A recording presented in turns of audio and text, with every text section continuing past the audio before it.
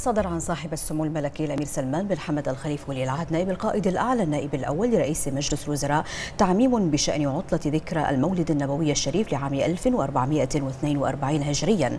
جاء في التعميم أنه بمناسبة ذكرى المولد النبوي الشريف تعطل وزارات المملكة وهيئاتها ومؤسساتها العامة يوم الخميس الثاني عشر من شهر ربيع الأول 1442 هجريا والموافق التاسع والعشرين من أكتوبر 2020.